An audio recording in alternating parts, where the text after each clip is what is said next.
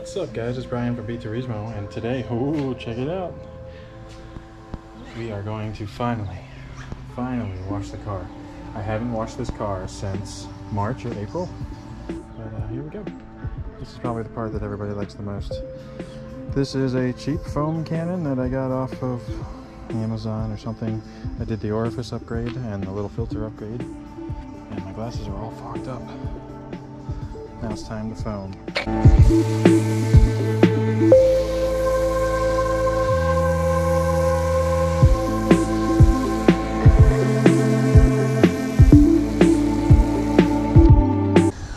I've got about three ounces of Americana Global soap in the can and filled it up the rest of the way with distilled water.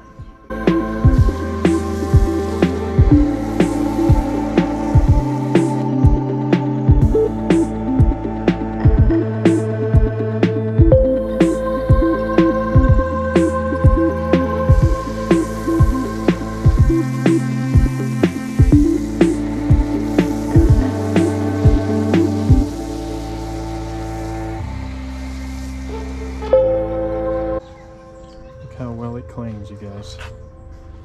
Look at that cling. It's clinging, but at the same time, look at it all move as one mass. Same thing on the window. Look at that. Like a giant dirt eraser. You guys realize how this works, right? Like the soap, you don't just spray the soap on there. It smells good or whatever. The soap is gonna really help break down some of the dust, dirt particles.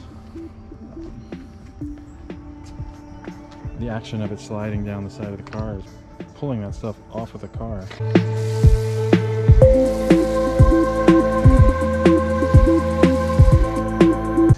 Meaning when you get your wash mitt and go to town, you've got less stuff on the surface of the car that you're rubbing around.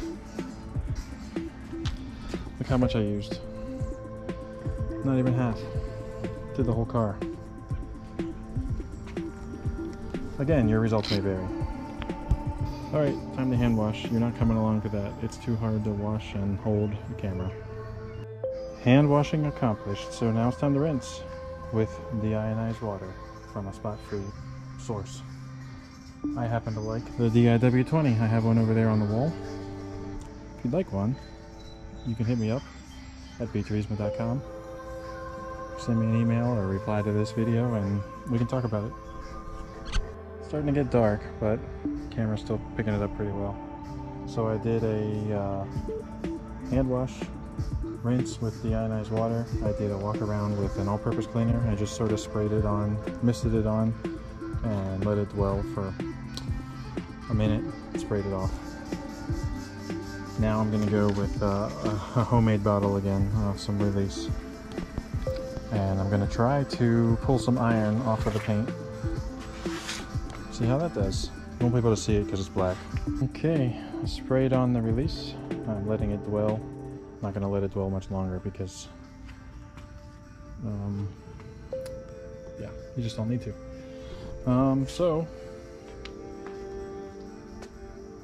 this is the first can or bottle of release that I've ever used that smelled like that, and I gotta say it's a lot better. I have to check with the brand rep and make sure that um, there wasn't a mistake or something because it smells that much better than the typical release or iron fallout remover. Now, this stuff needs to be rinsed thoroughly so it deactivates and gets off the surface. Alright, it's finally done. And uh, I don't know if you can see, but it's not fully dry. It's kind of dry. Can't use a leaf blower now because it's 9 o'clock. I'm in a neighborhood. But um, it's mostly dry. It's deionized water and everything was pH neutral and it's not sunny out, so... Oh, and I rinsed it very thoroughly, so... Just stick it in there and turn the fan on. I guess that's going to be the end of this video. That's just really how to wash it to get it ready for the next step. Which will be, for me, I got to go along all the edges. It's just not a lot, I guess, but tape off the plastics here and around the windows. because I am going to hit this with some finesse to try to get all the water spots off, or a majority of them. Once the finesse is done, I can finally put on a top coat. That's it for this video. Thanks for watching. If you like this kind of stuff, please remember to subscribe to the channel. If you get a chance, check out some of the other videos. Leave me a comment down below. Let me know what you think if you've tried the Americana Global products. And until next video, please uh, remember to keep right and pass left.